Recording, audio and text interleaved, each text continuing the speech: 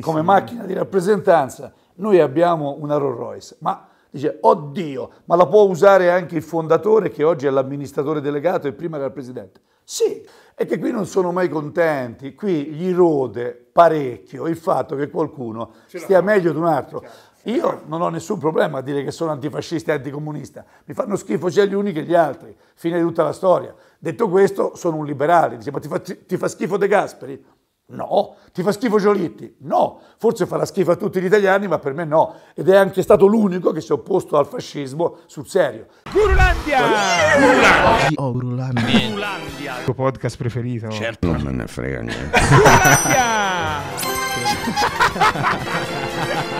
Gurulandia! Ma va a cagare! Eh, pure questo podcast spacca. Ascolta, Gurulandia! Mi hai capito bene? Benvenuti in una nuova puntata. Oggi altro grandissimo ospite. Diamo il benvenuto a Stefano Bandecchi. Grazie. Soprattutto grazie per averci ospitato in questa bellissima università. È enorme poi, è, è, è gigante, se non, non me l'aspettavo, mi venuto fuori. Questo deve, deve sottolinearlo che è enorme, perché tutti pensano che un'università cosiddetta erogatrice di corsi telematici debba essere uno scantinato.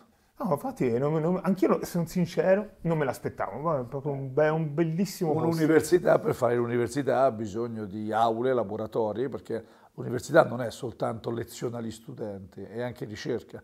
Noi abbiamo la facoltà di ingegneria che è stata quest'anno, è arrivata prima nella ricerca scientifica in ingegneria industriale.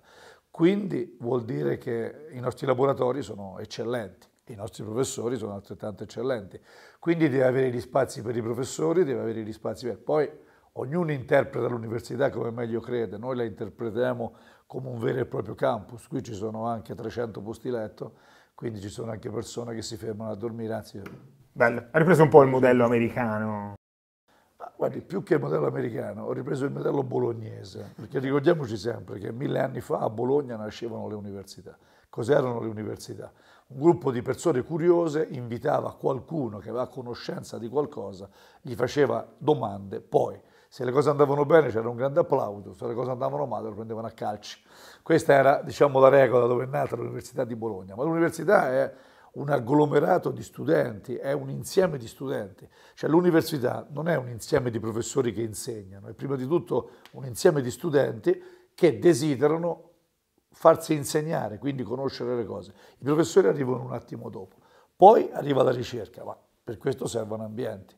Quindi ecco qua noi abbiamo 54.000 metri quadri e siamo oggi come università italiana privata, quella che ha un'estensione diciamo territoriale, una, una struttura più grande, tra le più grandi. Tra le più grandi. Ma una domanda, eh, per quale motivo lei ha questo interesse eh, dal punto di, di, vista imprenditoriale per l'università?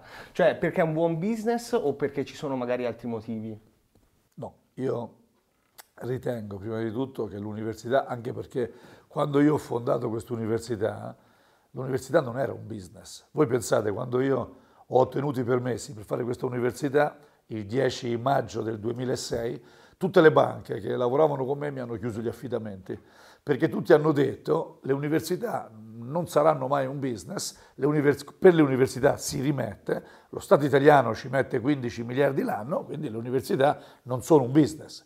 Poi alcuni privati, tra cui me, eh, che evidentemente in maniera più intelligente hanno cominciato a gestire il mondo accademico senza far mancare niente. Vi ricordo che noi abbiamo purtroppo quasi 2000 rinunce l'anno perché qui c'è gente che boccia, riboccia, riboccia.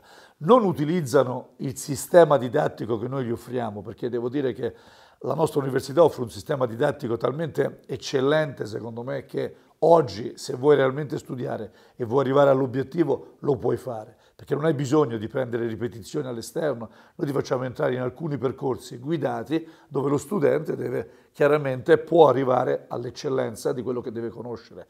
Però vi faccio un esempio con mio figlio, mio figlio fa ingegneria qua, mi sembra sia bocciato sette volte. e, cioè, il problema è se le cose le sai eh, vai avanti, se le cose non le sai non vai avanti. La stessa cosa è per l'altro figlio, ho due figli che fa scienze motorie, anche lui mi sembra un paio di volte si è inciampato, il ragionamento è qui si fa l'università, quindi l'università deve essere prima di tutto un posto dove tu le cose le impari. Ricordiamoci sempre poi che in tutte le università private I professori sono professori ordinari, professori associati o ricercatori, cioè sono professori del sistema universitario. Professore della Sapienza, professore di Milano, professore di Firenze possono venire a insegnare qua e i nostri professori spesso vanno a insegnare nelle varie università. L'insegnamento è libero, il professore sinceramente non è troppo, anche per chi volesse fare il furbo, non è troppo ricattabile. Il professore è veramente libero nella sua funzione, quindi nessuno lo può licenziare, nessuno lo può mandare via, professore insegna, se decide che lui boccerà 100.000, boccerà, punto. Quindi a differenza della scuola superiore, le scuole private, le, le università private hanno lo stesso, identico, organizzazione delle università gestite dallo Stato. I professori sono assolutamente indipendenti e, come ho già sottolineato, inlicenziabili. Lei perché ha deciso di investire su un'università dal punto di vista imprenditoriale sapendo che comunque è un campo dove è difficile essere profittevoli? Allora, tanto per cominciare, io ho analizzato il livello universitario mondiale. a livello universitario mondiale sappiate che le università sono tra le aziende più ricche del mondo. Ah, okay. Harvard arriva a circa 23 miliardi di sviluppo di fatturato ogni anno. 23 miliardi sono una cifra importantina. Ma per quale motivo? Perché le, nelle università si fa ricerca la ricerca porta ai brevetti, il brevetto porta comunque a un, guadagno costante nell'arco del tempo. Le università creano i loro spin-off, le università creano le loro start-up. Voi oggi andate su Facebook, voi oggi andate su Instagram, voi scrivete su WhatsApp. Tutte queste cose sono nate all'interno delle università, purtroppo statunitensi, sono stati all'inizio delle start-up, poi sono diventati degli spin-off e poi hanno volato in alto. Ricordatevi che non esiste niente, noi oggi usiamo i touchscreen.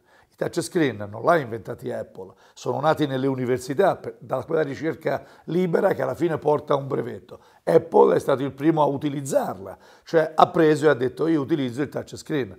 Ancora oggi ci sono università del mondo che prendono le royalty su touchscreen che noi continuiamo a utilizzare. Quindi voi dovete pensare che da pochissimo tempo è scaduto il brevetto, per esempio, dei catarifrangenti. Il catarifrangente per cent'anni abbiamo pagato il brevetto a chi l'aveva inventato. Ho visto c'è un film che ci hanno fatto su, sì. sull'inventore, bello. Guardate, eh, l'università quindi è un posto dove si creano oltretutto i quadri dirigenziali di domani. Quindi qui c'è un altro aspetto che è molto più filosofico, almeno per quanto mi riguarda. Cioè se tu vuoi creare un'impostazione mentale del popolo italiano, o del posto dove vivi e tu devi formare le persone. Eh, c'è una bellissima frase che dice se vuoi mangiare domani, insomma, se vuoi fare un lavoro semplice, semina grano. Se invece vuoi vedere qualcosa di importante, semina alberi, perché i frutti arriveranno negli anni. Ma se vuoi veramente cambiare il mondo e portare qualcosa di buono nel mondo, devi educare le persone. Allora questa università ha dato a me la possibilità, io sono il fondatore, di ideare anche metodologie didattiche, sistemi di insegnamento, procedure di insegnamento, assistenza verso gli studenti, creazione di società collegate che a loro volta potessero creare posti di lavoro e benessere. Questa università è nata in 40 metri quadri e oggi ne ha a disposizione qui 54.000, ma in realtà ha molte altre piccole sedi in Italia, poi possediamo altri laboratori, solo la facoltà di ingegneria ha, mi sembra, 7.000 metri quadri a disposizione. Wow. Quindi voglio dire, qui eh, a metri quadri insomma si va abbastanza avanti, ci sono altri 2.000 metri quadri a San Giovanni, insomma voglio dire, questa è una struttura importante e oggi è usata a pieno, tant'è vero che abbiamo bisogno anche di altri spazi. All'interno di questo podcast noi parliamo spesso di business e imprenditoria. Ti chiedo, secondo te per essere e diventare un imprenditore di successo l'università è fondamentale, serve, ti aiuta? Oppure l'università ti dà una competenza e serve per trovare un buon posto di lavoro, magari creare un brevetto, non lo so, o quello che stava dicendo prima? Allora, io credo una cosa, noi in Italia viviamo un grandissimo imbroglio. Il grandissimo imbroglio è quello di farci credere che studiare sia un dettaglio. Ora io faccio un esempio molto banale. Prima di tutto siamo 8 miliardi nel mondo, l'unico che io conosco che aveva la terza media e poi è diventato un miliardario è Bill Gates. Ora su 8 miliardi, più quelli morti e quelli che sono nati, diciamo 13-14 miliardi che fanno parte della sua generazione, Sinceramente non mi sembrano tanti, ecco uno. Ora, non so se uno potrà avere una botta di fortuna e quindi potrà fare grandi cose.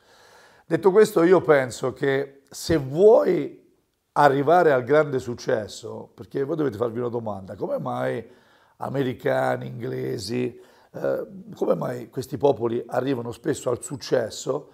A 30 anni ci sono già uomini di successo, a 27, a 32, mentre da noi ne devi avere 50, 60, se no non arrivi da nessuna parte. E tutto dipende dalla formazione, loro so, sono ossessionati dalla formazione. Quindi tutto quello che la persona che non ha studiato alla fine potrà anche arrivare a capire certe cose con l'esperienza. No? Ci sono molti meccanici che oggi forse potrebbero paragonarsi a qualche ingegnere meccanico, però hanno 92 anni. Dopo 92 anni che lavori con i motori avrai capito cos'è un cilindro, cos'è un pistone, avrai capito l'elettronica. Quello che ha fatto ingegneria meccanica eh, quasi sicuramente l'ha capito a 25 anni, a 24. Ora, dove Fa sta... la frase che è scritto lì di... Bravo, bravo, bravo. Bravissimo, ma dove sta quindi l'elemento? Secondo me è fondamentale studiare perché quello che si può fare studiando è come quello che può fare il filosofo. Difficile fare il filosofo se non hai studiato un po' di filosofia, perché domattina ti alzi e dici la stessa frase che ha detto Weber, che ha detto uh, Young, cioè voglio dire, inventi una serie di cose che poi alla fine sono già state inventate. Non è che domani mi metta a bere con le mani, qualcuno ci ha già pensato. Allora, prima devi conoscere delle basi, da quelle basi puoi andare avanti. Questo è il vantaggio che noi abbiamo. Voi oggi utilizzate un tablet perché la mia generazione ha avuto la fortuna di vedere un giorno una sorta di registratore, una cassetta e quello era un computer ci mettevi dentro la cassetta, scrivevi su una tastierina e avevi il computer. Ma prima ancora c'erano i perforati, cioè c'erano persone che andavano a fare il corso per fare le schede perforate. Le schede perforate si mettevano dentro un macchinario, venivano lette.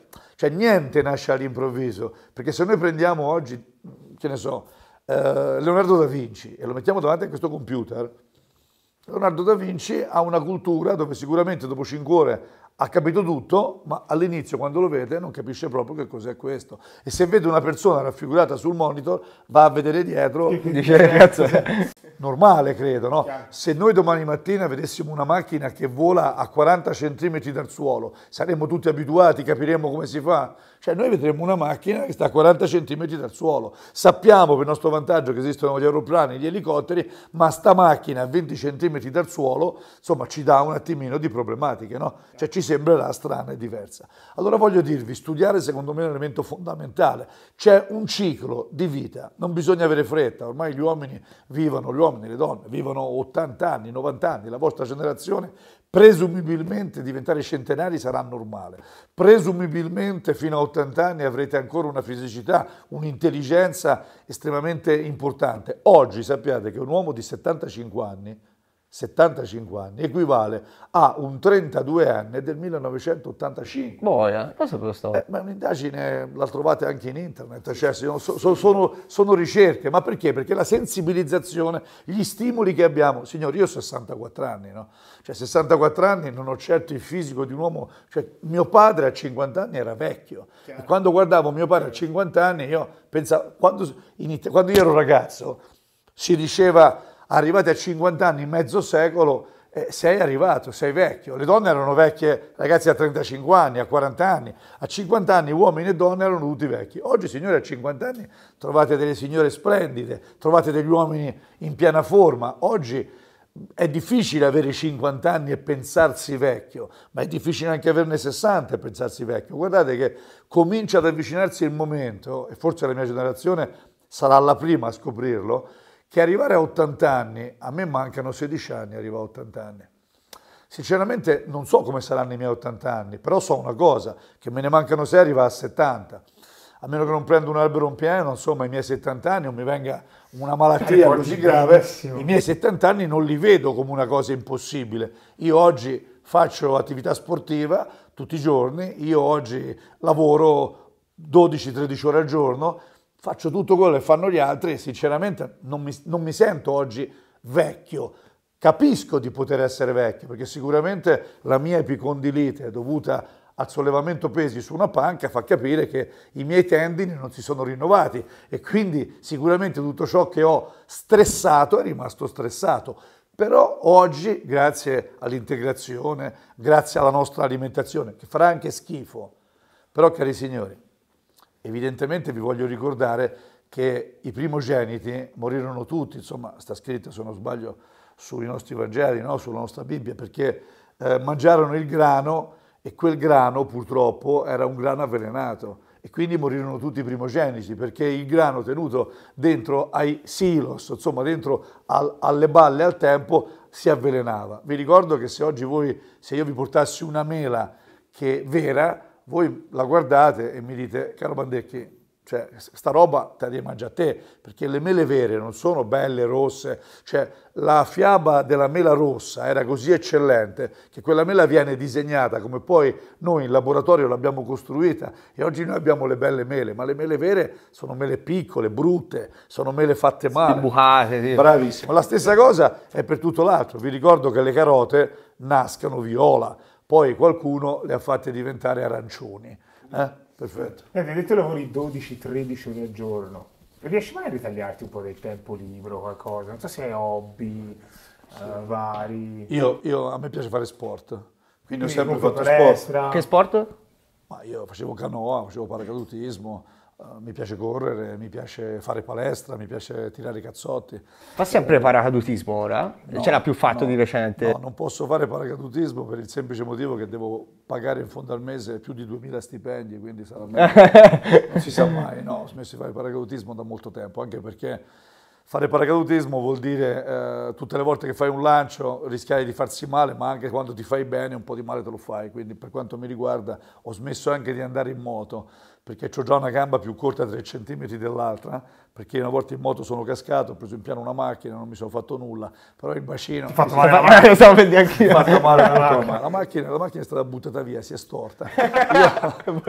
Sono quelle botte di fortuna che nella vita devi avere, insomma, voglio dire, cioè, altre mille volte non si può fare, è un po' come il Bill Gates, cioè se ci riprovi, perché non è che uno casca di moto, è intelligente, è bravo, quindi lui sa cascare. Caschi di moto, hai fortuna, non ti succede nulla. Caschi di moto, non sei fortunato e muori. Quindi ho due bellissime moto in garage, ma non utilizzo più le moto. Io ho una, una curiosità mia, ma per aprire un'università privata in Italia, cosa serve? Cioè, che cosa devi, come funziona? Cosa devi fare? Cioè, chiunque Prima di, tutto può lo pre- Sta- no, no, prima di tutto lo Stato deve avere necessità di avere un servizio, sia le università private che tante altre cose. Lo Stato a un certo punto si rende conto che da solo non- ce la fa. Quindi lo Stato Chiede fa un piano triennale e dice io ho bisogno di ospedali, io ho bisogno di università. Ci sono dei bandi. Ci sono dei bandi, apre un bando, dopodiché stabilisce che ha bisogno, ha fatto, vuole far nascere un'università, due università, che in quel caso sono private, sono pubbliche ma gestite da privati, presenteranno la domanda in 10, in 20, in 30, in 100, non lo so chi presenta la domanda, lo Stato fa tutta la sua analisi, tutta la sua elaborazione e poi decide qual è che diventa università. Controlla queste università ogni anno, perché ogni anno le università vengono rinnovate nel loro permesso e ogni quattro anni rihanno un'analisi completa, perché devono garantire la scientificità, devono garantire quello che si chiama incardinamento, cioè il, il minimo indispensabile per poter dire che una laurea che noi rilasciamo è una laurea riconosciuta dallo Stato italiano. Quindi le università private in Italia si sostituiscano e hanno funzione di Stato nel momento in cui erogano corsi di laurea. Quante sono le università private attualmente in Italia più o meno? Dunque, tra università cosiddette telematiche e università invece in presenza sono 29. Ok. Sparsi un po' tutti i Italia. Sono 11 più 18. È una domanda magari questa un po' personale. Quanto costa aprire un'università del genere? Tipo, tipo lei quanto ha investito? Se si può sapere. Guardi, io le posso dire una cosa, secondo me in tutte le cose serve prima di tutto l'intelligenza e la capacità del saper fare. Non ho mai visto nessun progetto riuscire perché si parte dalla base ho i soldi per farlo. A me questa università è costata i soldi che ho guadagnato man mano che facevo l'università. Quando io ho fondato questa università, la prima cosa che si ottiene è un permesso perché si presentano tutta una serie di documenti e dopodiché lo Stato dice sono idonee a che tu possa iniziare. Poi hai un triennio dove vieni controllato in ciò che fai. Io per presentare le prime domande ho speso esattamente, credo, non sono arrivato a 3.000 euro, compreso, no, non credo di non esserci arrivato. Ho lavorato io direttamente insieme ad, alcuni, ad alcune altre persone che con me stavano realizzando questa università, erano i miei soci che a un certo punto sono usciti diciamo, da questa operazione. Abbiamo realizzato tutto il materiale e abbiamo presentato la domanda esattamente in via Kennedy a Roma, dove c'era al tempo il Ministero dell'Università. Presentata la domanda, la nostra domanda è stata analizzata al tempo dal CUN, il CUN, il Comitato Universitario Nazionale, ha stabilito che quello che avevamo presentato teoricamente era esatto e ci ha chiesto di, di, cominciare a incardinare i professori, cioè a presentare chi erano i professori che devono fare. Come vi ho già detto, i professori si possono solo prendere nel cesto dello Stato, perché i professori si debbono esattamente andare a raccogliere dove, dove sono e sono, è lo Stato che li crea. Abbiamo cominciato a creare quindi i nostri incardinamenti, lo Stato per tre anni ci ha controllato, controllando che ciò che noi stavamo facendo fosse rispettoso delle regole. Abbiamo cominciato a fare pubblicità e lì ho cominciato a spendere dei primi soldi, ho cominciato a iscrivere i primi studenti e abbiamo cominciato con le nostre forze, diciamo, mescolando la retta degli studenti, perché noi non prendiamo soldi dallo Stato.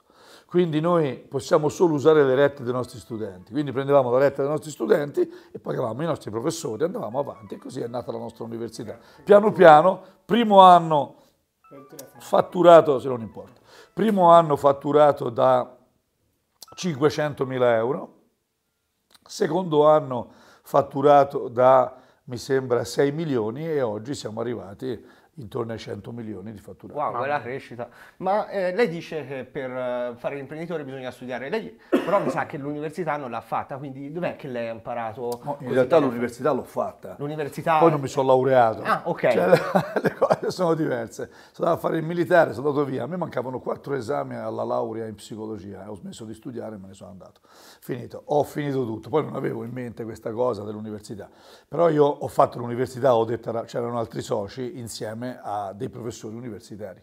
Quindi questa università è nata da me, che ho stimolato dei professori universitari a lavorare insieme a me per poter realizzare questo Ateneo. Da solo non avrei mai potuto realizzare questo. Come mai non c'è un'università che insegna però a fare l'imprenditore? Perché credo che in Italia, eh, non c'è in Italia, perché ci sono questi corsi di business, eh, sicuramente negli Stati Uniti, sicuramente anche in Inghilterra e sono addirittura anche settoriali perché ti insegnano a fare business, che ne so, nella ricezione, nei ricevimenti, nel, nello sport, insomma in tanti, in tanti settori. Credo che in Italia non ci sia un grande rispetto del mondo imprenditoriale. Cioè chi fa l'imprenditore in Italia mentalmente deve sapere che sarà considerato un ladro quasi da tutti. Vero. Cioè il concetto è che fare impresa in Italia equivale, è un gradino diciamo sopra andare a rubare. Cioè se vai a rubare sei un ladro e tutti sanno che sei un ladro. Se sei un imprenditore in Italia ti si sopporta un po' a stento. Tu cosa consiglieresti a un ragazzo che vuole fare impresa oggi in Italia? Di non farla. cioè io consiglierei di andare a fare impresa da un'altra parte del mondo, perché se io avessi fatto impresa negli Stati Uniti o se avessi fatto impresa in Inghilterra, ma anche in Germania, mi avrebbero fatto un monumento. Invece qua sei indagato tutti i giorni per qualsiasi motivo, sei invidiato. Vedete, all'inizio io ero uno che non capiva nulla perché avevo creato un'università e quindi le banche mi tolsero ogni tipo di affidamento e mi dissero fai per conto tuo. Va bene, faccio per conto mio. Poi ho creato in questo, in questo Ateneo un business perché di fatto ho un ottimo stipendio, di fatto evidentemente faccio il mio lavoro tutti i giorni in maniera corretta, pago 4 milioni e mezzo circa di euro di stipendi tutti i mesi, quindi vuol dire che riusciamo a far girare questa baracca nella maniera giusta. Eh, a questo punto ci sono tutte le indagini della Guardia di Finanza, dell'Agenzia delle Entrate, tutti ti odiano perché dicono nonostante tu abbia rispettato le leggi c'è qualcosa che non ci piace, perché in Italia non c'è mai una legge che si legge in un modo solo, esatto. c'è sempre una legge che si può leggere in 75 modi diversi. Infatti ogni commercialista Quindi, dice quello gli pare. Bravo, bravo, ma no, non, non, solo, i commercialisti non contano proprio una mazza, perché il commercialista può dire quello che gli pare, gli avvocati dicono quello che vogliono. Ma tu segui, la responsabilità è tua. Bravo, tu segui le indicazioni che ti vengono date, però poi sei tu responsabile, ma oltretutto c'è anche di peggio. Quando poi alla fine vieni cacciato, vieni... e tu sei in difficoltà perché non capisci bene che cosa hai fatto in certi casi, perché se tu hai rubato davvero, per esempio vi posso dire che io in questo momento ho un'indagine su di me, ho una riflessione che viene fatta su di me su un arricchimento, non mi ricordo, soggettivo Cioè praticamente io scopro che potrei aver ottenu- fatto nella mia vita, in, in base a certe cose, potrei aver ottenuto un arricchimento soggettivo. Sarebbe una Non lo so. Ah, Eh, adesso no, io voglio dire, io eh, adesso, adesso se ne andrà a parlare, non lo so, non l'ho capito, cioè, perché normalmente tu sai che devi fare un lavoro, paghi le tasse, su alcune cose paghi di più, su alcune cose paghi di meno, c'è l'IRAP, c'è l'IRES, ci sono dei prodotti decommercializzati, cioè voglio dire, esiste una serie di regole, tu le segui perché non le segui tu come imprenditore. Io ho uno staff di circa 10 commercialisti, una ventina di avvocati, eh, però evidentemente forse nessuno ci ha capito nulla, perché poi arriva un giorno uno che salza la mattina e ti mette in una condizione di non sapere che cosa hai fatto. Poi un giorno si arriverà a questa risposta. Oggi vi posso dire che sono tre anni che io sono indagato, ho praticamente più di 20 milioni sequestrati ormai da un anno e mezzo. Ancora non ho capito esatto. Qualcuno, per esempio, mi ha contestato, faccio per, farci- per- per capirci, questa sede, la vedete? Voi avete detto bella università, Certo, giusto? no? sì. Bene, la Guardia di Finanza l'ha contestata a suo tempo perché ha detto che un'università telematica, non so per quale motivo, non deve avere questa sede. E quindi l'investimento di questa sede fa sì che questa sede sia una sede che crea un arricchimento. Beh, ci sono stati però degli investimenti che hanno fatto un po' scalpore, mi viene in mente Ferrari, Rolls Royce, sotto nome dell'università, quindi magari... Io- Perché voglio dire, questa sede costa 100 milioni, una Ferrari costa 200 milioni. ho capito però... Vabbè, alla fine sei Se, proporzionato. se mi permettete, ci sono delle Mercedes, perché vedete, la Ferrari si chiama Ferrari. Sì, però cosa se ne fa all'università della Ferrari? Quello era il discorso che... Molto, molto semplice. Noi ci abbiamo automotive, facoltà di ingegneria automotive. La Ferrari è una macchina di rappresentanza, è una macchina bellissima, è una macchina che viene messa... no, no, non la mettiamo. Oltretutto questa università, ci sarebbe da forse un'altra domanda, che marginalità ha? 40 milioni l'anno. Se questa università ha una marginalità di 40 milioni l'anno, questi soldi li deve utilizzare. Certo. La domanda è, esiste una legge per cui l'università deve utilizzare dei soldi in un certo modo? No. No. C'è un elenco di... No. Se compravamo questa sede, avremmo fatto un errore? Sì. Se compriamo la Rolls Royce, che la Rolls Royce è il nome, signori, oltretutto questa università, come ci sono università che hanno la Mercedes Serie S, come macchina di rappresentanza, noi abbiamo una Rolls Royce, ma dice, oddio, ma la può usare anche il fondatore che oggi è l'amministratore delegato e prima era il presidente? Sì, gli italiani odiano coloro che riescano a fare business, che lo fanno bene e che alla fine ottengono dei risultati. Negli Stati Uniti, quando noi andiamo a Dubai e vediamo parcheggiate tutte Rolls Royce, per noi è normale, è fighissimo quel posto. In Italia l'avrebbero arrestati tutti. Cioè, se non vuoi far comprare una Rolls Royce in Italia, non la devi vendere una Rolls Royce in Italia. Se non vuoi far comprare un aereo in Italia, dici, ma che ti serve l'aereo? Scusate, noi abbiamo o l'elicottero, noi abbiamo affari in tutto il mondo. Noi abbiamo una école in Francia, noi abbiamo un'altra università con un campus in Inghilterra, vi invito ad andarla a vedere. Nel Kent 16 ettari di campus, 13.000 metri quadri completamente coperti, 3.000 metri quadri che stanno nascendo. Andate a vederlo. Cioè il concetto è, noi abbiamo creato un'università, stiamo creando un'università in Arabia Saudita, stiamo creando un'università a Dubai, noi abbiamo un'università a Miami. Ora, la domanda è, che ce fai con la bicicletta? Ognuno si sposta come meglio crede con quello che vuole, però qui, anche qui, dobbiamo aprire un capitolo. Esiste una legge che dice che un'università che ha disponibilità economica debba usare per forza Air One o può anche usare un, un aereo privato? Se in Italia si proibisce l'utilizzo dell'aereo privato, si fa una legge, si proibisce e si dice chi amministra l'università deve andare negli Stati Uniti a piedi e io mi incammino e vado a piedi. Se però, no, perché vedete, la domanda che bisognerebbe sempre porre è un'altra. Ma tu l'hai pagato l'INPS ai dipendenti? Sì. Tu l'hai pagato lo stipendio ai dipendenti? Sì. Tu hai pagato le tasse che lo Stato italiano ti chiedeva? Sì. Basta. Basta. Infatti il problema Finito. è se lei usasse no, soldi pubblici Non per è un problema, comprare- aspetti, perché quello che poi ti dà l'aereo, quello che ti dà l'elicottero, paga le tasse, perché tu l'hai comprato l'aereo d'elicottero. La Rolls Royce non è stata comprata in Inghilterra, è stata comprata in Italia. Il concessionario che l'ha venduta ha pagato le tasse sulla Rolls Royce. E che qui non sono mai contenti, qui gli rode parecchio il fatto che qualcuno stia meglio di un altro. La domanda che ha fatto lei, no, voglio, voglio chiudere questo argomento sulla domanda che ha fatto lei. A cosa serve una Ferrari a un'università? Perché quando noi andiamo a Cambridge, ad Oxford o ad Harvard dove la retta costa 60.000 euro ok, o, o 12.000 sterline, anzi 60.000 dollari o 12.000 sterline, e noi vediamo che lì hanno evidentemente cose eccellenti come stadi eccellenti di proprietà, eh, piscine, eh, campi scuola, perché noi diciamo solo questo è bello e non ci domandiamo cosa ce l'hanno a fare?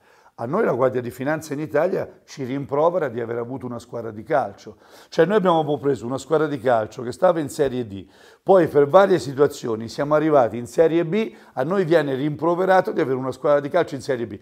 Dove sta scritto che le università non dovrebbero avere una squadra di calcio? Oppure ci mettiamo un bel limite, cioè diciamo che le squadre di calcio delle università, facciamo una legge, possono arrivare solo a quale categoria? Alla Serie D, alla Serie C? Perché, perché, non è che ti puoi svegliare domani mattina, perché faccio un esempio, noi abbiamo una squadra femminile di Serie B che potrebbe rischiare di andare in Serie A femminile. Adesso noi cosa dobbiamo fare? Dobbiamo venderla, perché se vale per la squadra maschile, vale anche per la squadra femminile. Quindi come mai le università che... Do- voi vi ricorderete che c'è il CUS, il Centro Universitario Studentesco, che l'hanno inventato a fare il CUS, se poi evidentemente non si può finanziare lo sport. Ma poi l'Università Niccolò Cusano finanzia anche l'atletica leggera, perché la Libertas Unicusano Livorno prende 300.000 euro l'anno da noi.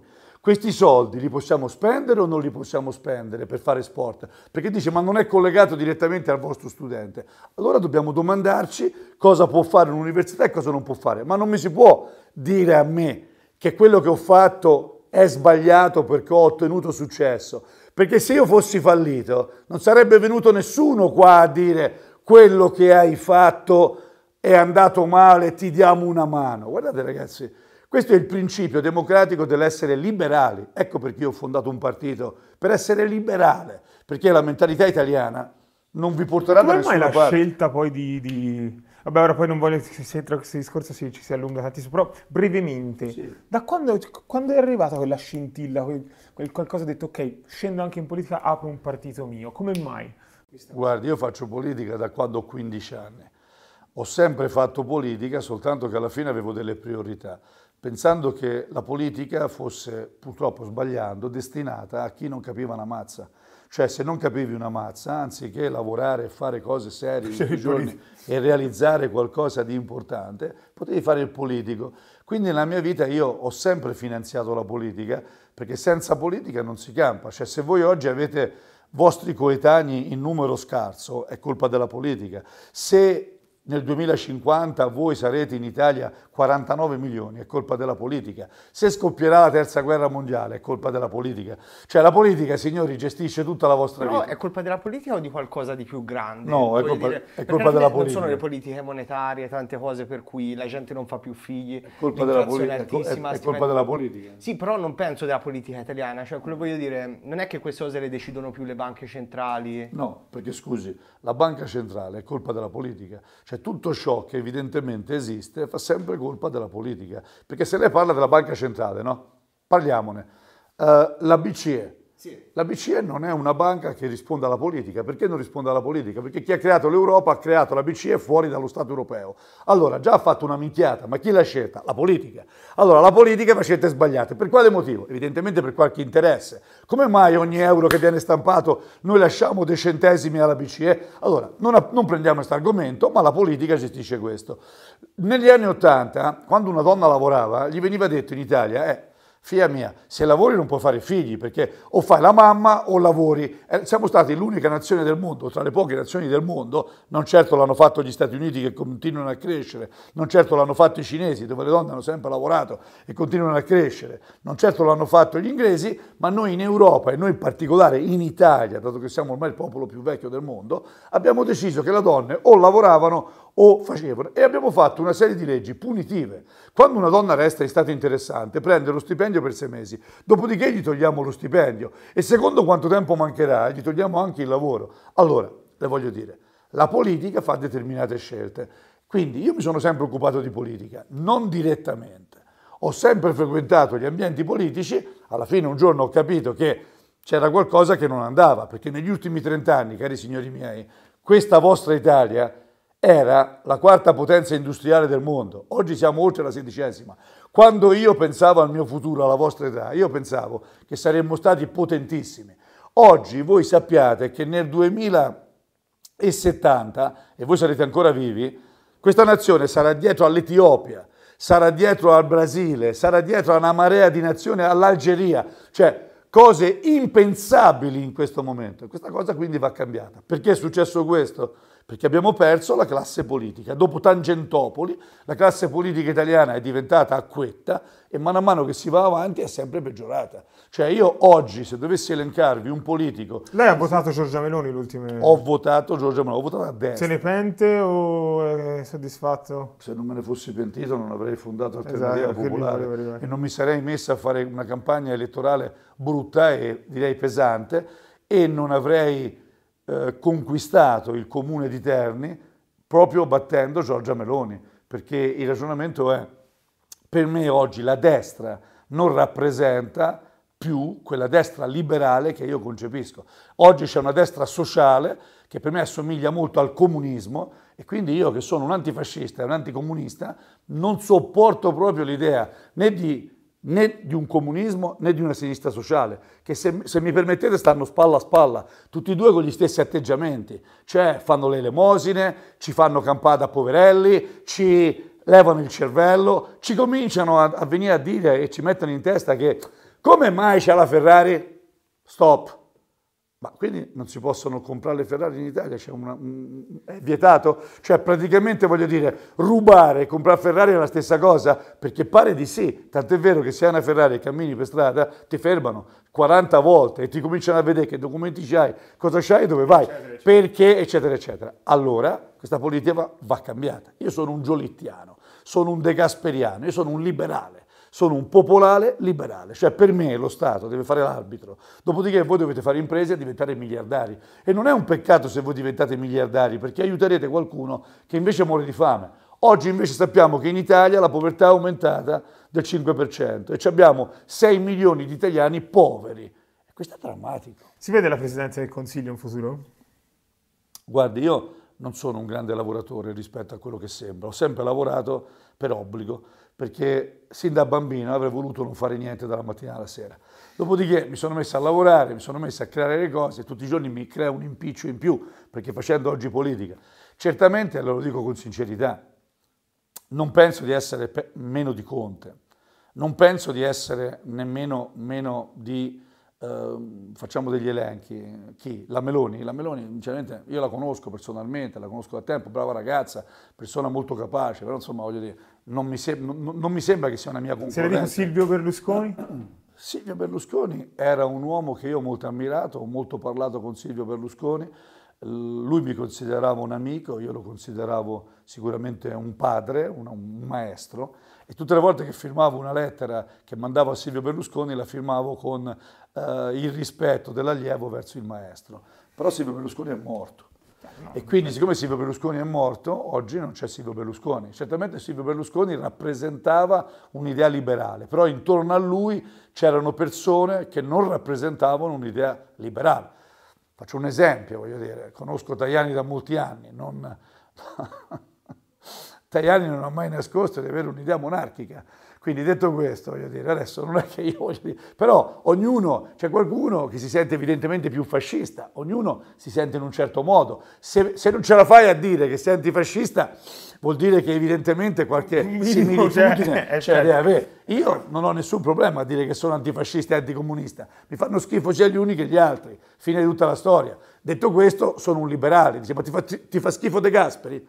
No. Ti fa schifo Giolitti? No. Forse farà schifo a tutti gli italiani, ma per me no. Ed è anche stato l'unico che si è opposto al fascismo sul serio. Sei monarchico? No. Ma potresti pensare? Assolutamente no. Quindi io mi vedo come Presidente del Consiglio perché penso che i Presidenti del Consiglio che abbiamo avuto fino ad, ori- fino ad oggi, guardate, banchieri e bancari compresi, perché c'è una differenza tra un banchiere e un bancario. E quindi anche qui io voglio essere cattivo. Noi abbiamo avuto un Presidente del Consiglio che era un bancario, non un banchiere, perché se domani mi mettete in mano la Banca d'Italia, non è che io divento un banchiere, divento un bancario di elite. Evidentemente qualcuno si è scordato tutta la vita di Draghi a 360 gradi. Draghi ha venduto tutti i gioielli italiani negli anni 90, ora sta vendendo il nostro residuo di gioielli, dopodiché non so cosa avremo noi. Cioè, forse fra un po' venderemo anche il nostro esercito, perché forse non è strategicamente... Dice, ma tu ti, ti metti in contrapposizione con Draghi. Draghi è un umano, è un uomo, Berlusconi lo mise prima in Banca d'Italia, Berlusconi, poi lo fecero andare alla banca centrale. Europea. Cioè, signori, voglio dire, è un uomo come tutti gli altri. Anche a voi, se qualcuno vi mette una mano sotto il culino e vi porta avanti, diventate famosi. Noi in Italia vi siete mai accorti che abbiamo sempre gli stessi manager, sempre gli stessi amministratori che passano dall'Alitalia all'Eni? Cioè, vi siete accorti che non c'è mai uno nuovo? Sono tutti che si girano intorno. eh? Ci sarà un perché, voglio dire. La politica fa anche questo, perché la politica fa le nomine. Allora, chi nomina la politica? Persone di successo? Può darsi. Nomina persone ubbidienti? Può darsi. Scegliete voi, ognuno si deve fare una ragione. Io penso che nomini persone ubbidienti e quindi ho deciso di fare politica, perché a me servono le persone in gamba. La frase che ho detto, io candido anche un cammello se ce n'è bisogno, è proprio la frase che risponde a questo tipo di meccanismo. Io candido l'intelligenza. A me non interessa che cos'è una persona, se è bello, se è brutto, se è grasso, se è magro, se è uomo, se è donna. A me interessa che sia intelligente. Se è intelligente vuol dire che ci darà evidentemente delle possibilità. Chiaro. Eh, Stefano, siamo in chiusura. Volevo un'ultima domandina un attimo al volo perché eh, mi interessa. Non so se hai visto a, a- a Pioltello, cioè una scuola che ha deciso che Sì. rimarrà chiusa per eh, la fine del Ramadan. Ok, volevo sapere cosa Allora, ne pensi. voglio, voglio essere chiaro. Eh, penso che noi abbiamo le nostre usanze e credo che noi dobbiamo mantenere le nostre usanze e non accettare le usanze degli altri, a meno che evidentemente non- la nostra nazione non cambi radicalmente. Su questa scuola ho da dire una cosa, eh, qualcuno mi ha fatto presente, perché io ho detto che per me è una bischerata questa, però mi hanno fatto presente che chiuderanno solo per un giorno, non per un mese, quindi chiuderanno l'ultimo giorno del Ramadan. Eh, comunque una cosa non era mai successa. Non era mai successa. Ora però voglio dirvi una cosa, la scuola ha, della- ha una sua autonomia, anche qui voglio essere un liberale e voglio esserlo fino in fondo, la scuola ha una sua autonomia, ha dei giorni che può gestire per conto suo. Per me è una cazzata, ma se il preside di quella scuola decide di chiudere, sta nella sua perfetta autonomia e se come dice lui ha 27 bambini su 30 che sono musulmani, evidentemente quel giorno li può far stare a casa insieme ai genitori. Punto. Punto. Detto questo, io non ho chiuso mai la mia università, ci sono i crocifissi all'interno di questa università e qui c'è la cappella, l'avete vista quando siete entrati. Per quanto mi riguarda, se ti iscrivi in questa università che si chiama Niccolò Cusano, che era oltretutto un grande illuminato, ma era sempre un prete, detto questo vuol dire che rispetti le nostre regole. Qui ci sono dei musulmani che studiano con noi, noi facciamo lezione anche il venerdì, quindi loro vengono a lezione anche il venerdì, noi E viviamo comunque in armonia. viviamo in tranquilla armonia, anche perché guardate, il mio avvocato è un musulmano, è un somalo, è il mio avvocato penalista, è il mio avvocato principale, non ho mai avuto da discutere con lui, se non che quando andiamo a tavola, se io mette a mangiare una fettina di maiale, lui non la mangia. Vabbè, Però certo. questo è un problema diverso, questo non- ci ha sempre permesso di essere anche ottimi amici. Oltretutto è un professore che insegna all'interno di questo, di questo Ateneo. Quindi per me, che lui sia musulmano e io sia cristiano, ha poco valore. Poi ci sono gli estremismi. Sugli estremismi si apre un capitolo completamente diverso, inaccettabile. Senti, eh, volevo fare una domanda, non so se ci stiamo col tempo, però eh, qui davanti ci sarà un miliardario, soprattutto in Italia, dico, in Italia è, più, cioè, è più difficile penso che diventare miliardario in America. Ma io non sono ancora miliardario. Vabbè, sulla carta. Iervolino, Sulla- bravo, Iervolino è miliardario perché ha venduto la sua università e ha incassato un miliardo e tre. Vabbè. Io invece non l'ho venduta Ma all'università. tutti i miliardari sono miliardari su carta, dai. Va bene, cioè non è sì. che c'è uno che ha un miliardo in banca proprio. Lo può anche avere, qualcuno però sono sì. miliardari. E, cioè, eh, te sei partito proprio da zero completamente, si può ripercorrere un attimo una Eh, storia? vabbè, ciao. Che ci si fa in 5-10 minuti? Cioè, È so cosa, è una cosa molto semplice. Io sono nato a Livorno, quartiere Shanghai, sono nato in un quartiere poverissimo. Eh, Mio padre faceva il camionista, mia madre faceva la massaia. Eh, poi trovate certe situazioni, voglio dire, imbarazzanti, dove i carabinieri ci portarono a casa, mio padre da piccoletti ha deciso, ora li riporto tutti al paese da dove veniva. Siamo andati a vivere a Colle Salvetti e dintorni. Lì ho fatto le mie scuole, lì ho fatto praticamente fino alle scuole medie. Dopodiché ho fatto molto sport nella mia vita, ho cominciato dalle scuole medie a fare, a fare atletica leggera, facevo fondo e mezzo fondo, quindi ero un fisichettino asciutto, mi piaceva correre, correvo anche molto bene. Ho ancora alcuni record, se non sbaglio, il record provinciale a Livorno dei 2000 eh, metri siepi, è mio, e quindi vabbè, ho fatto diverse cose. Poi ho fatto il militare, sono partito militare e a 18 anni sono andato via da casa, perché avevo i capelli lunghi fin qua, e allora mio padre non sopportava i capelli lunghi e mi disse o ti fai i capelli o te ne vai. E io me ne andai. E poi farmi i capelli una settimana dopo perché dovevo trovare un lavoro per mangiare e nessuno mi assumeva con questi capelli. Detto ciò, ho fatto il militare, l'ho fatto per un po' di tempo, ho fatto il paracadutista, l'ho fatto direi molto bene, ho partecipato alla missione in Libano e ad altre missioni. Detto questo, mi sono poi congedato e sono, ho cominciato a fare l'imprenditore, ho cominciato a fare il rappresentante e quindi a, a intraprendere su me stesso. L'azienda per la quale lavoravo è fallita all'improvviso un agosto e io ho detto non lavorerò mai più per nessuno. E ho cominciato a lavorare per me stesso.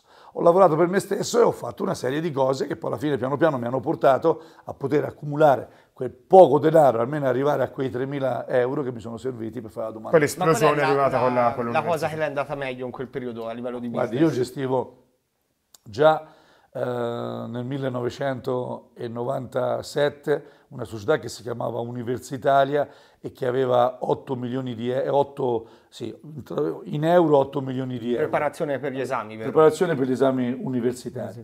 Poi ho avuto una società che si chiama Delta Security System, eh, faceva impianti d'allarme, poi una casa editrice che si chiamava Edizioni Winner, insomma ho avuto parecchie cose. Dopodiché una, la società universitaria, come gli ho detto, poi ho fatto domanda per questa università, avevo una società di costruzioni che si chiama Ugo Immobiliare, che costruiva quindi appartamenti e case. Insomma, voglio dire, eh, qui con questa università e con tutto quello che ci è collegato sono arrivato ai vertici forse eh, dell'impresa nazionale, ma me la cavavo già abbastanza bene perché diciamo che fino a 40 anni ho sofferto molto, da 40 anni in poi ho cominciato a guadagnare i milioni di euro. Ma una domanda, scusi, una mia curiosità, arrivato a questo punto, no, eh, miliardario, eh, perché si continua a caricare di responsabilità, di stress e, e non smette, magari vende l'azienda? Cioè, cos'è che la motiva ad andare perché avanti? Perché vede, sono mentalmente un morto di fame, sono rimasto un povero sono rimasto uno che esce di casa con... Eh, oggi credo di non avere manco soldi in tasca perché ho messo benzina e non l'ho potuta pagare. e... e davo l'orologio. Sì. Sì, gli volevo dare l'orologio, insomma.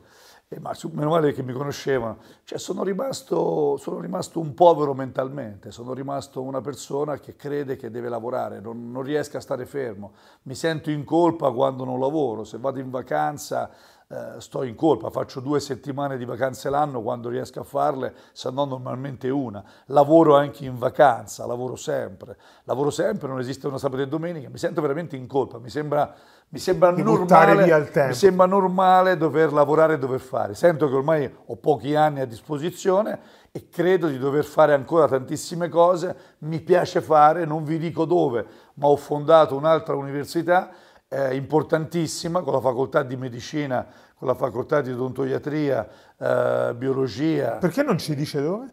Perché l'ho appena fondata e appena fatta, farà scoppiare dei casini a livello nazionale inauditi, quindi voglio dire, okay. aspetto, ho portato in Italia un'università somala e questa università somala ha medicina, voi sapete che in base a delle leggi che sono del 1963 fatte nel 61, 20 giorni dopo la mia nascita. Io sono nato il 4 aprile, quindi non potranno accusare me perché a 20 giorni non, potevo, non credo di averle fatte io, però ho sfruttato queste leggi che sono del 61, arrivano nel 63. Oggi, come sapete, c'è un, un grosso revival dell'Africa, no? c'è il piano Mattei, sì, sì, sì. e io ho portato in Italia questa unica università che è nata in Somalia, dove in Somalia ho, una, ho anche una fabbrica che lavora il pesce, che sta per partire, fabbrica milionaria, è una cosa... Una marea di roba. Come viaggia lei comunque? eh? viaggia lei. A me piace, piace, fare cose, mi piace creare posti di lavoro. Prima di andare via, fatevi un giro in garage, no? sotto da noi. In garage voi vedrete che i miei dipendenti, i nostri dipendenti, hanno delle belle macchine. Cioè hanno potuto cambiare la macchina, la macchina è nuova, non è una macchina preistorica. Hanno, se andate a vedere, hanno comprato casa, fanno figli, qui c'è una densità di nascite di figli, dice, a prescindere dai soldi. La politica è importante. Eh, chi, le mamme di qua dentro non hanno mai perso il posto di lavoro, le mamme di qua dentro hanno preso sempre i soldi tutti i mesi, nessuno gli è mai mancato nulla. Io sono felice quando nasce un bambino, perché scusate, lavoro ho business principale è un'università per la Cusano, è l'università, vuol dire che devi essere contento che nasca un bambino. Normale. Signori, questo è un popolo di vecchi. Il giorno che invecchierà andranno le case di riposo, però vi voglio illuminare, andranno le case di riposo per voi che non avranno senso. Voi dovete fare figli. Se non farete figli, voi siete poveri. Se no anche l'Inps è buona.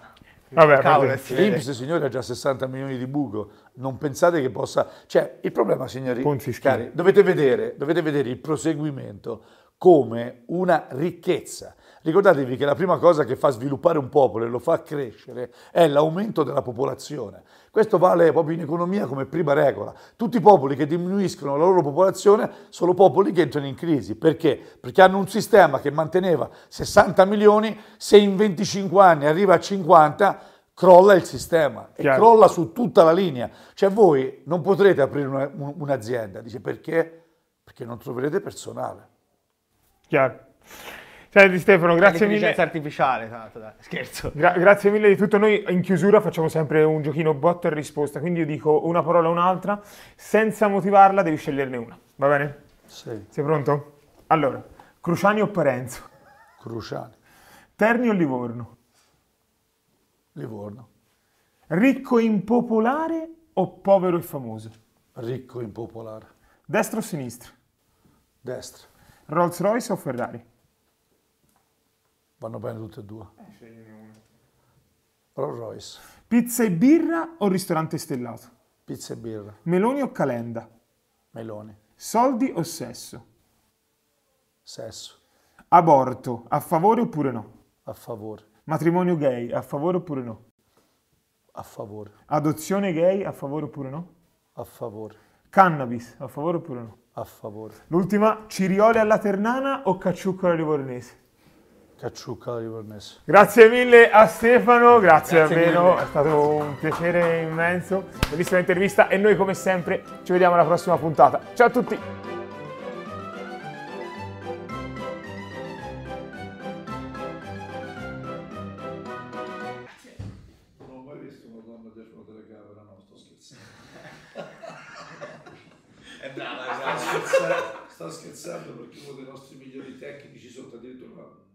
Gran bella ragazza che andava in video e invece si è messa a fare radio